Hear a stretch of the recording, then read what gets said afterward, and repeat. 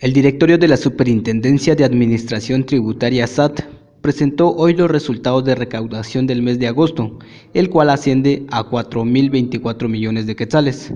Uno de los tributos con mayor desempeño según la SAT fue el impuesto sobre la renta, que logró alcanzar 109.3% de ejecución. En cuanto a los resultados de forma acumulada enero-agosto, la SAT reporta una recaudación que asciende a 38.066 millones de quetzales. A decir del superintendente Juan Francisco Solórzano Fopa, esta cifra evidencia un alza de 1.845 millones, un 5% de la cantidad que se había alcanzado en el mismo periodo del año pasado. Y este año logramos 4.024.2 millones de quetzales, que es un 98% de ejecución, 82.3 millones de quetzales por debajo eh, de la meta que nos habíamos propuesto.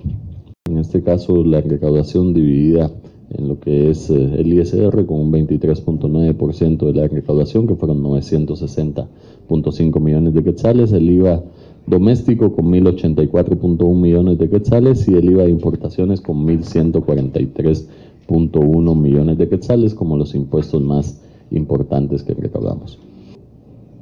En el acumulado entonces, lo programado hasta la fecha eran 38.794.4 millones de, quetzales y hemos alcanzado hasta la fecha 38.066.5 millones de quetzales con una brecha de 727.9 millones de quetzales, lo que significa un 98.1% de la ejecución. Seguimos teniendo una variación positiva con relación al año 2016 en más 1.845.7 millones eh, de quetzales. El funcionario también se refirió a las exoneraciones que se establecieron a través del Acuerdo Gubernativo 82-2017. FOPA explicó que a través de esta excesión se recaudaron 1.088 millones de quetzales, de los cuales 553 millones son del impuesto sobre la renta y 338 millones de IVA doméstico.